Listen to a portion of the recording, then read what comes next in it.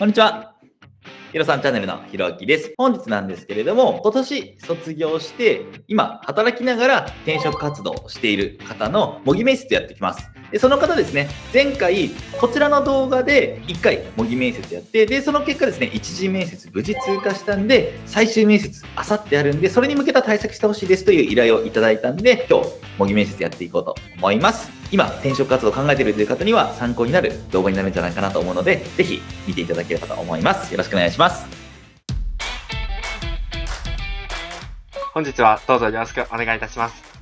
お願いします。今日2回目の模擬面接ということで、1回目、えっと、模擬面接をして、受けた会社は無事通過したというところで、おめでとうございます。ありがとうございます。今日はですね、あさってが最終面接ということで、最終面接に備えた面接対策をやっていければと思います。最終面接に備えた対策をやっていくにあたって、一次面接どんな感じだったか教えてもらえたらなと思うんですけど、そのもらった情報に合わせて質問内容とか変えていこうかなと思うんですけれども、一次面接どんな感じのこと聞かれました？一次面接が主に退職理由と志望動機と長所と短所と、あと今まで一番壁にぶつかったことと、あと最後は逆質問くらいですよね。その質問の中で、この質問が結構重要そうだったなとか、相手の反応を見て感じたところってありました？あともう一つ質問があって、業績と工夫したことについてなんですけど、私が岡本さんの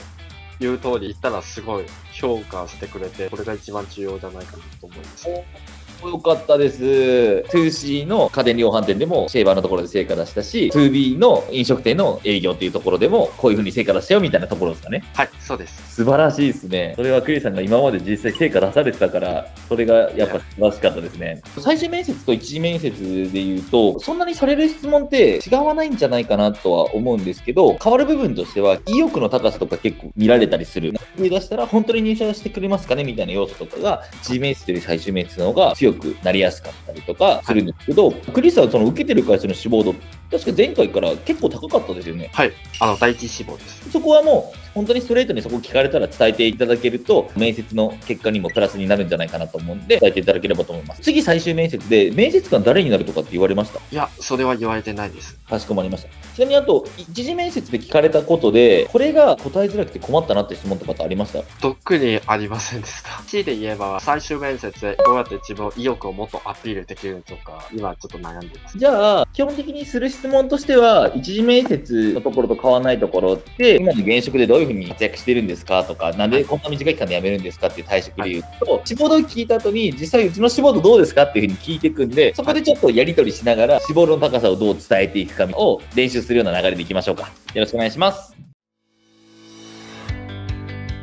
本日最終面接お越しいただきましてありがとうございました。それではですね、まず最初に自己紹介からお願いしてもよいでしょうか。私は名前はクリスと申します。25歳です。私は今年の3月をもって上智大学を卒業しました。現在日本に住んで7年目です。この7年間私が日本に住んで感じたことが、日本人が仕事に対してマイナスのイメージを抱く人すごい多いに対して、海外の人が仕事に対してプラスのイメージを持って働く人すごく多いです。従って、私の軸が人材営業の仕事に携わることです。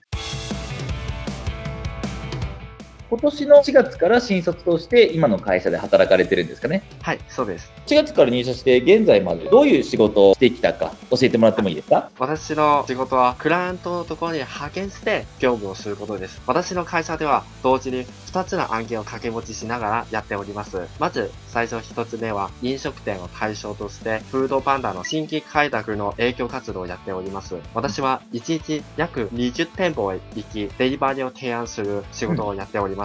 現在新規開拓契約件数が30件、目標達成率が150%を超えるため、私は営業スタッフの最優秀賞を受賞することができました。うん。あと、二つ目が、私は現在土日では、ヤマダ電機でシェーバーを売っております。これは、店に来るお客様に対してシェーバーを提案する仕事です。私が一人で派遣するため、他の人とは比較はできないですが、目標達成率が175%で達成できたため、ヤマダ電機から何回も指名が入りました。以上が私の仕事内容でした。2つ業務されていて、フードパンダの営業でも、ヤマダ電機でのシェーバーを売るっていう仕事でも、こちらもとても素晴らしい成果出されてるなと思ったんですけど、はいこの成果を出すにあたって、どんな工夫したかとか教えてもらってもいいですか？フードパンダは私がどうやって成果を出すかというと、取り組む点が主に2つがあります。まず1つ目が、フードパンダの新規開拓の営業活動をしている中で、他の営業スタッフが1日10店舗行くことに対して、私は1日20店舗行くことにしました。私たちが新卒として営業活動をしているとき、他の営業スタッフを比べてまだ経験が足りてないことを私は自覚してて、まず数をこなすことをすごい重要だと私は考えたため、20店舗行くことにしました。二つ目が、私は自分が苦手な人でも仲良くしようとすることです。フードパンダの新規開拓営業活動をしている中で、私は個人経営の飲食店を対象に絞り、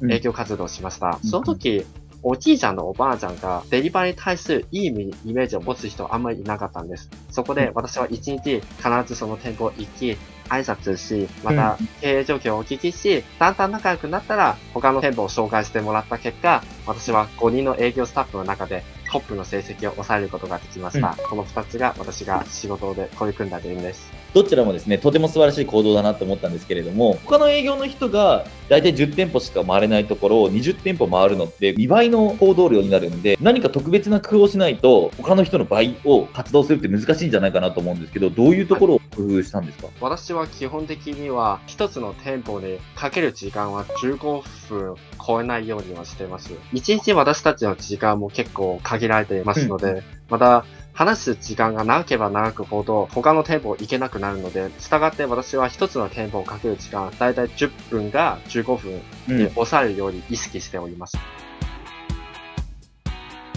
今、入社されて5ヶ月目終わって次6ヶ月目ぐらいですかね。このタイミングで転職活動をしてるのは、どういったところが理由になるんですか？私はもともと人材営業をやりたかったんですけど、残念ながら内定がなかなか取れませんでした。そこで私は今の会社である程度営業の実績を出すことができたら、人材営業の職で活躍しようと私は考えておりました。うんそういうチャンスがあったら転職活動しようと考えております。うん短い間ですけど、私が今の会社では一定の実績を出したできたため、自分がそのチャンスをつかめるかどうかを試すために転職活動を決意しました。もし、今このタイミングで就職活動して、人材会社の営業から内定が出なかった場合とかは、今の仕事をもうちょっと継続していこうかなっていうふうに思ってるんですか？もし足りなかったら、私はまだ力不足ということで、とりあえずこの会社が頑張ったら、また御社にチャレンジできたらいいなって私は考えております。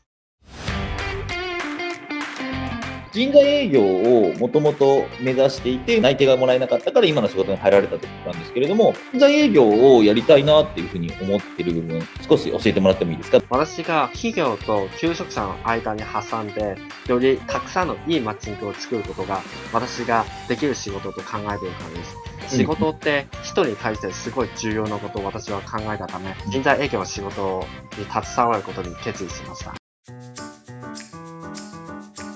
弊社を志望する志望動機教えてもらえますか私が今まで培った法人営業と販売の経験を活かし、人材コーディネーターとして、御社の業績向上に貢献していきたいと私は考えております。御社が全業種の人材紹介を行っていることが、私がより多くの企業をアプローチできるところがとても魅力的な感じのため、志望させていただきました。今って就職活動で何社ぐらい受けてるんですか？今受けてるのはまだ御社のみです。そうなんですね。はいちなみになんで弊社だけしか受けてないんですか？私が御社だけを受けたいという理由としては、御社の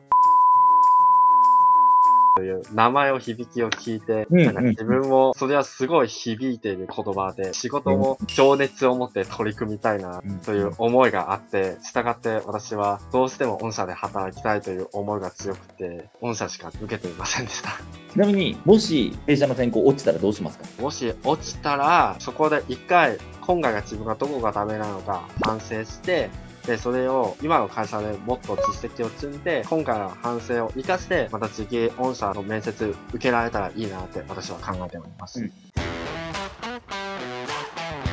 最後にですね、将来どういう風になっていきたいかとか、その将来の理想像とか、こんなキャリアパスでいきたいなみたいなところあれば伺いたいなと思うんですけど、いかがですか？私は将来的には部長を目指し、より御社の業績向上に貢献していきたいと私は考えております。そのために、まず最初1年目は、私は人材コーディネーターとして、営業の経験をたくさん積み上げて、企業様と求職者の方についてしっかり学んでいきたいと私は考えております。3年目になると、私は管理職を目指し、マネジメント能力を身につけて、後輩の育成にも力を入れたいと考えております。また、成果や営業成績のみならず、周りの社員さんをフォローすることによって、周りの社員さんの信頼を勝ち取っていきたいと私は考えております。10年目になると私は部長として海外の進出の新規開拓活動に貢献し、たくさんの新しい拠点を立ち上げることによって、より御社の業績向上に貢献していきたいと私は考えております。以上が私のキャリアビジョンでした。それでは本日の面接は以上となります。ありがとうございました。本日はこのような時間を設けていただき、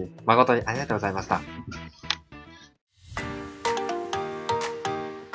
どうでした？一周通してやってみて。やはり私はまだまだダメなところがあって、自分が用意してない質問、例えば、もしこの会社落ちたら、あなたはどうすればいいですか？なんで御社だけしか受けてないんですか、うん、なんかそういうのも、自分の感情的な部分が出してしまって、うん、そこは改善した方がいいかなと思います、うん、全体通してみて、まずフィードバックすると受かると思います。とても良かったです。ありがとうございます。前回一発目にやったところからフィードバックして改善のところもすごく早かったんで本当に優秀だなっていうのは感じてたんですけど今回やった部分っていうのはもうそこのフィードバック全部踏まえてカバーできてて2回目っていうところでそれを発揮できてるっていうのはやっぱり本当に吸収力高くて素晴らしいなと思いました。すごくいいなと思ったんで大きいところのなんか問題点とかが特にあるわけじゃないんですけど、まあ、せっかくこの模擬面接の機会なんでさらに90 5点を96点、7点、8点にしていくみたいな、そういうところでいくつか細かいところフィードバックしていければなと思います。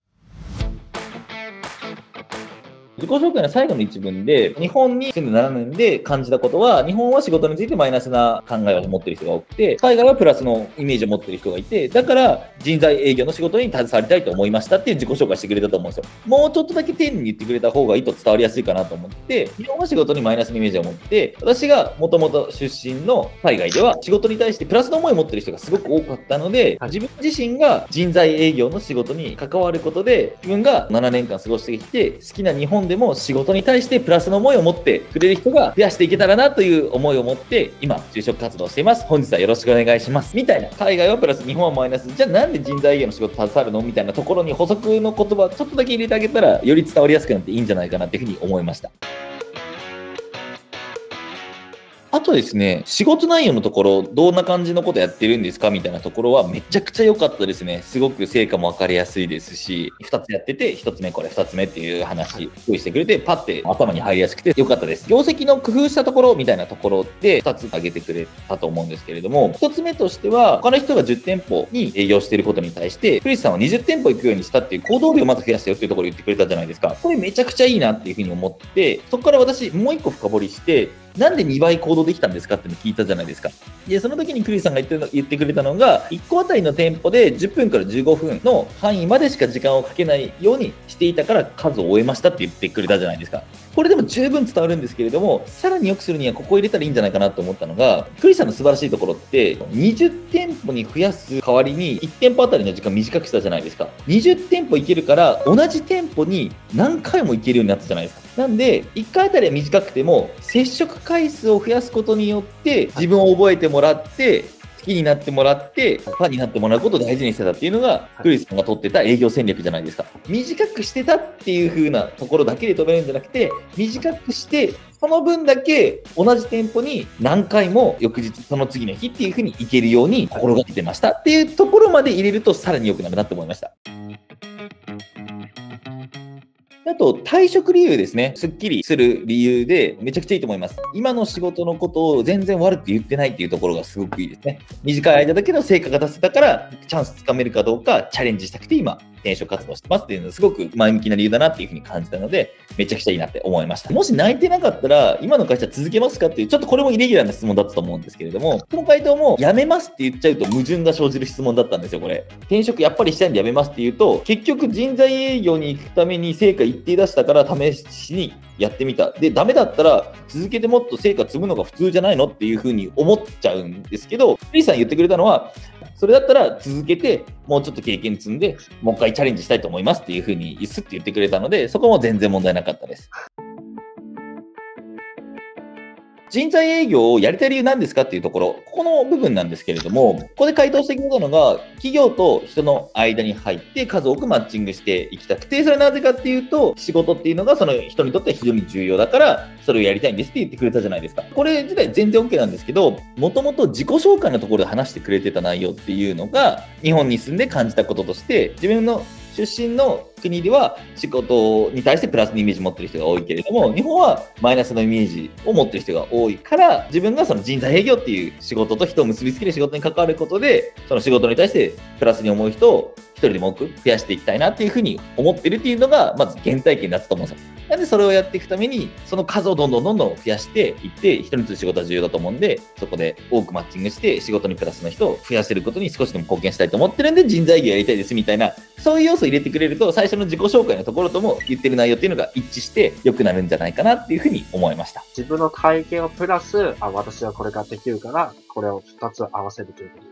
す。すごくいいと思います。思いだけになってしまうと、で、成果出すビジネス的などこはどうみたいな感じで思われちゃうかもしれないので、クリスさんがその経験として成果出してたっていうところも入れてあげるのは、よりパワーアップしていいと思います。例えば、私が自分が好きな日本でも、仕事に対するプラスのイメージを持つ日本人一人でも増やしていきたいなって私は考えている私が企業と求職者の間に挟んで、よりたくさんいいマッチングを作ることが私ができる仕事だから、これが私が人材営業になりたい理由ですって感じですか、ちょっと細かいところなんですけど、私がその間に入って、マッチングするのができることだからやりたいって言っちゃうと、まだやってないのになんでできるって分かるのみたいな変なツッコミ入ったりなんで、はい、そのマッチングをしていきたいから人材業界を目指してますっていう言い方するんですよ。はい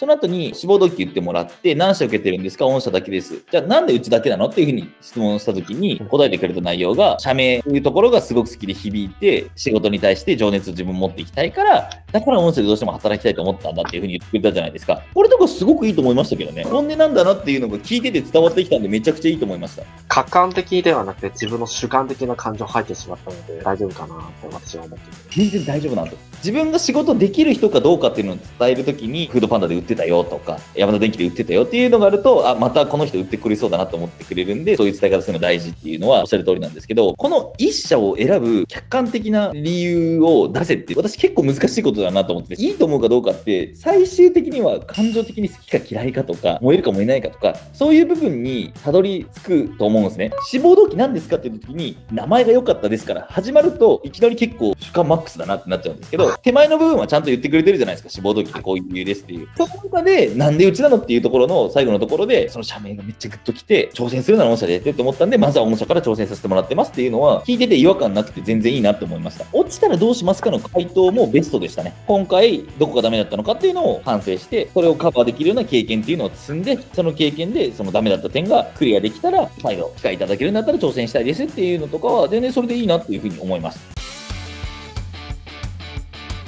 将来のキャリアパスなんですけれども、この会社自体が将来的に海外展開していきたいっていうことを志向してる会社だっていうことだったじゃないですか。で前回お伝えしたのが、海外に展開したいという思考を持っていても、まだ展開してないのに、その海外行きたいです、海外行きたいですって言っちゃうと、地に足ついてない人だと思われて、あんまりプラスにならないかもしれないですよっていうのをお伝えしたじゃないですか。という中で、今回伝えてくれた10年後には海外進出に貢献して業績向上に力を注ぎていきたいですっていうふうに言ってくれたのは、10年後とかであれば、全然浮ついたようには聞こえないですし、しっかり10年間実績と信頼を勝ち取った上で、そこに行くっていう時に、クリスさんだったら、すごく任せるべき人材だなっていうふうに聞いてて感じたので、この回答も非常にいいなって思いました。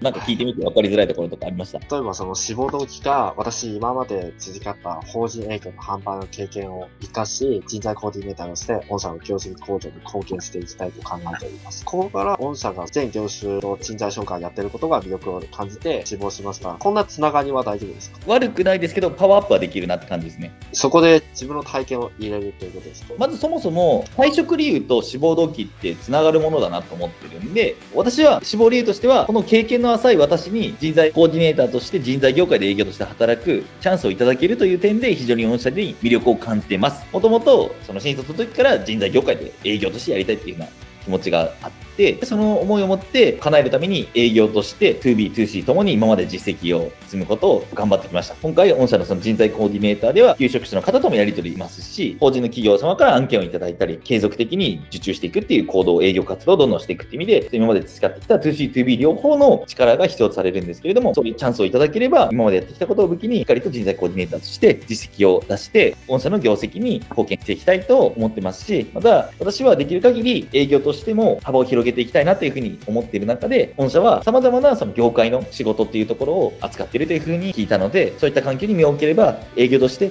どんどんどんどんレベルアップしていけるんじゃないかなっていうふうに思うので、そういった点でも御社に魅力を感じ志望してます。こんな感じとかですね。最初は退職理由と、御社が人材営業をやりたいと御社選ぶ理由という、こういうつながりで大丈夫ですか？そうですね。そこぐらいまで入れるのは全然ありだと思います。アピールポイント、最終面接あんまり聞いてこないです。聞いてくる時もありますが、アピールポイントとかだと、今まで話してくれたところとかを伝えていただければ全然大丈夫だと思いますよ。例えば私は、最後アピールポイントが、あの、本日の面接受けさせていただきありがとうございました。感謝の気持ちを伝えて、あともし私が入社できたら、御社が5年以内に東証一部というビジョンに貢献し、御社に海外の拠点たくさん作ることによって、必ず御社にたくさんの利益をもたらしていきたいと私は考えております、最後、例をという指名と感じても大丈夫です。めちゃくちゃいいと思います。自己紹介のところなんですけど、例えば、あの、私の国では、みんなすごいプラスのイメージを持って働くので、自分が大好きな日本でも仕事に対して、プラスのイメージから一人でも増やしていきたくて、従って私の地区が人材営業の仕事に携わることで大丈夫ですか？そうするためには、人と仕事を結びつける人材業界で働いていくことが必要なんじゃないかなと思って人材業界の営業を目指してますみたいな感じですかね。いやあさって楽しみですね。いや、きっといい結果になるんじゃないかなと思います。頑張ってください。本日は本当にお忙しい中でお時間いただき誠にありがとうございました。こちらこそありがとうございました。はい。模擬面接以上となります。見ていただいて感じたと思うんですけれども、本当に優秀な方で、感じたこととしては、バイタリティが本当すごいんですね。私が伝えた内容というのも、本当一つ一つ吸収して、で、自分の言葉で伝えられるかっていう確認っていうのを、毎回毎回ずっとしてくれて、そういう気持ちで、一つ一つのアドバイスを聞いてるんで、吸収力が速くて、めちゃくちゃ成長速度が速いっていうところが、前回も感じましたし、今回も改めて驚いた部分でした。そういう吸収の仕方をしてるからこそ仕事を覚えるのも早くて、現職においても成果を出されてるんだなっていうのがすごく感じるような方なので、きっとあさっての面接でも内定が出るんじゃないかなというふうに思います。この動画を見て、その第二新卒で転職活動してるんだけど、面接不安だなっていう方はですね、概要欄に貼ってある URL からお申し込みいただければ、模擬面接をお手伝いすることもできるので、必要であればお申し込みいただければなというふうに思います。皆さんの転職活動が成功することを心より応援しております。最後まで見ていただきありがとうございました。